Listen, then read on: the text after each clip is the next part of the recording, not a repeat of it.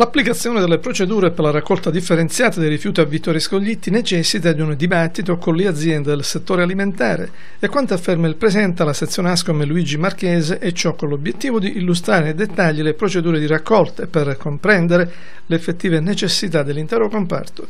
Per questo motivo l'Ascom ha quindi deciso di indire un'assemblea rivolta ai settori alimentari, pubblici esercizi, ristorazione, grande distribuzione organizzata, prodotti ittici, macellerie, panifici e pizzerie.